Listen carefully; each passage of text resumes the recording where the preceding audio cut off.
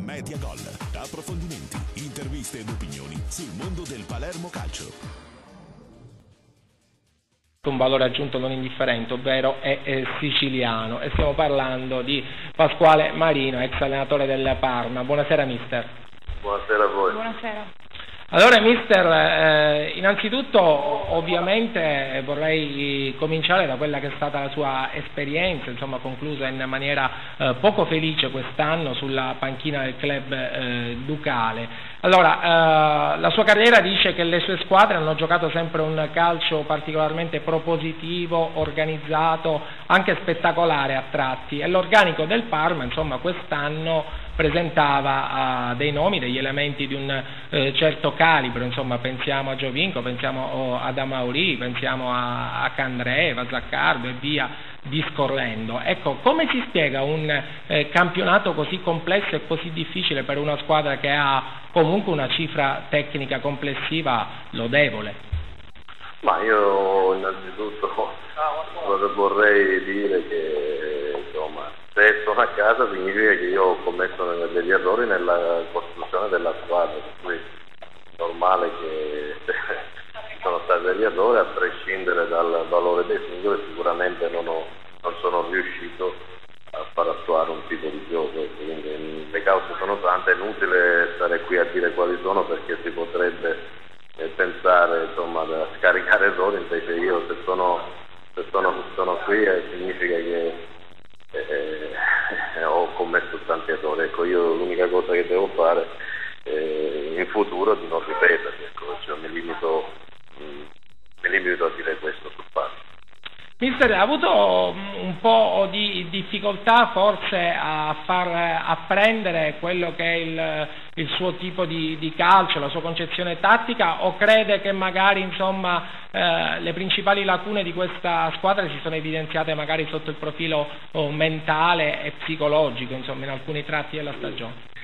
Ma no, ma io ripeto il concetto espresso, ho già detto quello che devo dire sul Parma, è inutile scendere nei particolari mm. perché insomma, si rischia magari di scaricare su altri errori miei, perché secondo me è giusto quando le cose non vanno bene sia l'allenatore il maggiore responsabile e di conseguenza ho pagato io, per cui è inutile stare qui ad entrare nei particolari non conviene per niente. No, no, certo, mister, non è sicuramente ehm, signorile e, e, non è neanche il caso, visto che ancora c'è il campionato in corso. Il riferimento all'aspetto psicologico era più legato al fatto che magari c'è stato un momento del campionato in cui avete inanellato una serie di risultati positivi molto eh, importanti, pensiamo insomma alla vittoria sonante sul campo della Juventus e forse lì qualcuno ha perso un po' la dimensione dei valori di quello che doveva in realtà essere il vostro campionato, l'osservazione era, era finalizzata a, a questo pensiero. Ah, ci può stare di tutto quando le cose non riescono, per, non, non vanno per il verso giusto.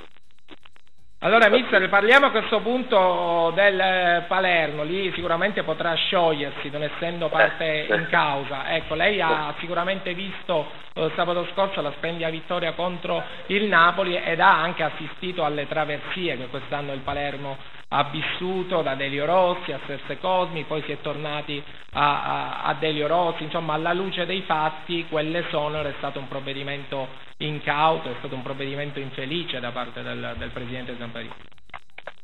Ah, eh, alla luce dei fatti però diciamo che, eh, che una, un Presidente le prova tutte quando ci sono momenti di difficoltà però è ritornato sui suoi passi e quindi significa che segnale importante e, riconoscere anche qualche errore se si fa un passo indietro, per cui eh, credo che Palermo esprima un calcio sempre propositivo, un calcio organizzato, per cui eh, lo sta dimostrando anche a cospetto di, di squadre che ambiscono al titolo, come il Milan in Coppa, come il Napoli, le ultime partite, per cui credo che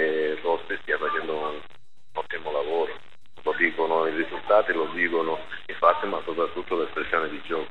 Dal punto di vista tecnico, mister, eh, il pomo della discordia tra Rossi e Zamparini nel corso di tutto l'anno è stata questa eccessiva vulnerabilità uh, difensiva. Ecco, il Presidente la ascriveva a torto ad una lacuna, un'incapacità dell'allenatore di allestire un'adeguata fase di non possesso, ma insomma i fatti hanno dimostrato, se andiamo a vedere le caratteristiche dei singoli in questo organico, che è una squadra che ha un certo tipo di DNA, ovvero due esterni bassi particolarmente eh, offensivi, un regista difensivo che ha piedi da trequartista come Bobo e poi giocatori fortemente eh, portati dalla metà campo in su ad attaccare la porta avversaria, forse solo Nocirino e Migliaccio sono oh, i centrocampisti più votati alla fase di contenimento, cioè voglio dire questa è una squadra nata per costruire, nata per attaccare e pazienza se, se subisce qualcosina in più. È una squadra spettacolare, quando è una squadra propositiva, una squadra tecnica, credo che ci sia questa possibilità di fare, eh, di, di fare tanti gol e di prendere qualcuno in più, ma il, le, diciamo che l'emersione maggiore il calcio lo dà quando, quando ci sono i gol, quindi la gente va allo stadio perché preferisce un 3-3, un 4-4 a uno 0-0, per cui secondo me è meglio così. Assolutamente, anche per eh, il pubblico che si diverte, ovviamente il Palermo ha eh, giocatori eh, capaci di tirar fuori davvero oh, delle giocate, dei colpi di straordinaria levatura tecnica e spesso riesce anche a fare un gol in più dell'avversario. Ecco, contro il Napoli in particolar modo oh, questo poco equilibrio tra le parti non si è visto, anzi si è visto una grande partecipazione di Hernandez, di Pastore, di Ilicic nella fase di non eh, possesso. No? Questa è una squadra che ha lo spirito giusto in questo momento. Sì, sì, sono convinto di sì perché partecipi prima a difendere non loro, per cui l'equilibrio c'è stato dall'inizio alla fine, anzi man mano che passava il tempo eh, hanno avuto più spazi quando soprattutto è passato in vantaggio e potevano fare anche diversi gol perché si chiudevano bene e ripartivano bene rischiando anche poco. Mister, le faccio una domanda facile, ecco, qual è il giocatore del Palermo che calcisticamente la intriga e la fa innamorare di più? Lei è libero anche di, di sorprenderci, magari con una risposta che non sia la solita. No, è chiaro che quello che attrae maggiormente chi vede il calcio, chi vede la partita è Pastore, però è chiaro che per l'utilità della squadra ce ne sono tanti, ho visto in questi anni per esempio Nocerino ha avuto una maturazione eccezionale eh, per cui sono, sono, giocatori con qualità diverse, eh, però sono giocatori importanti di spessore. Assolutamente sì. Manuela. Mister, giocando un po' a fare i pronostici, adesso per il Palermo c'è un importante obiettivo, la semifinale di Team Cup di ritorno contro il Milan. Ritiene che i rossonero possono arrivare in finale ed eventualmente addirittura raggiungere questo traguardo? Ma io credo che in questo momento hanno dimostrato una condizione ottima e l'hanno dimostrato come detto prima sia a Milano sia nella partita con Napoli. Il risultato dell'andata certamente favorisce eh, anche il passaggio del turno qualche percentuale in più giocando in casa e, e, credo che il pubblico darà una spinta in più, per cui ci sono le premesse, però ci sono le premesse anche per arrivare secondo me al settimo posto perché siamo ancora tutto da giocare.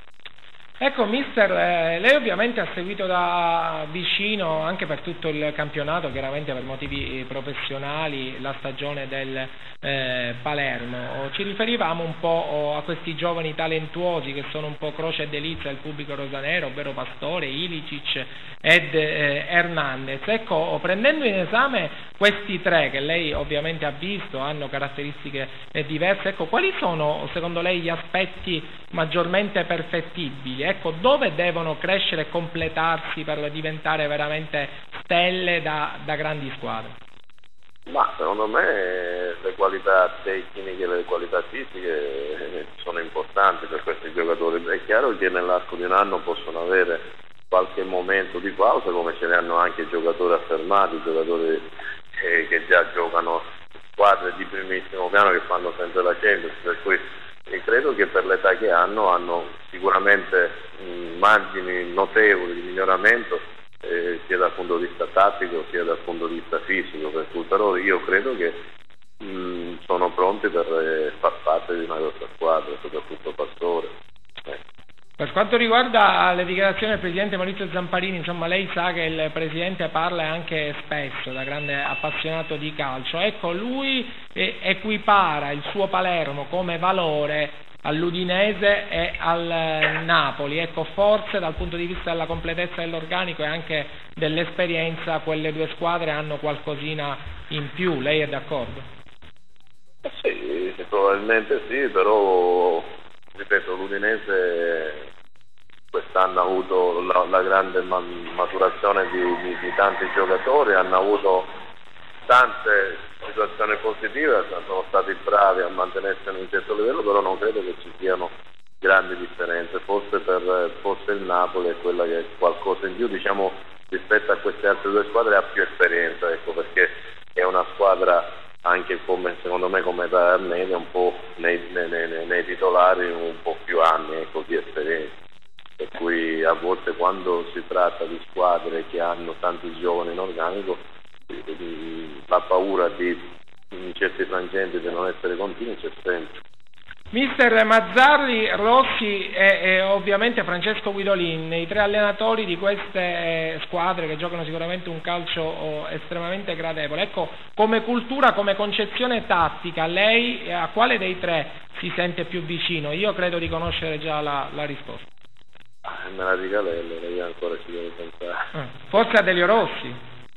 Ma no, non lo so, io dico che sono, sono allenatori che, fanno, che hanno fatto molto bene quest'anno e chiaramente hanno fatto giocare bene dal punto di vista tattico le proprie squadre, cui ognuno ha le proprie caratteristiche, però la cosa che più conta è che eh, secondo me eh, abbiamo citato tre squadre che forse insieme al Milan e qualche altra squadra hanno espresso il calcio più, più bello. Eh.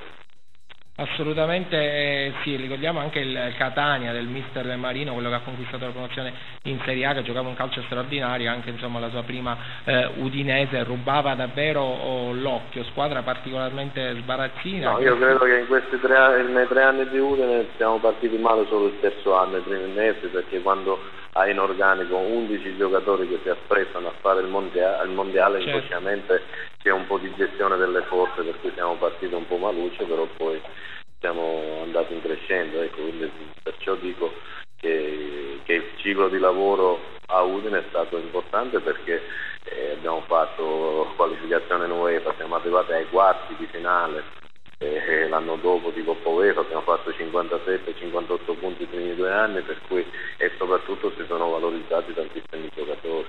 Mister, io, io, l'ho avvicinata a Delio Rossi perché insomma, ricordo che le sue squadre andavano a giocare a calcio su qualsiasi eh, campo, giocavano un calcio particolarmente aggressivo, propositivo, anche bello dal punto di vista estetico e rischiavano qualcosina, quindi insomma rispetto a, a Mazzari e Guidolin che hanno qualche alchimia eh, difensiva e forse insomma, speculativa in più, il suo era un calcio più temerario, più vicino insomma, a quello di Delio Rossi.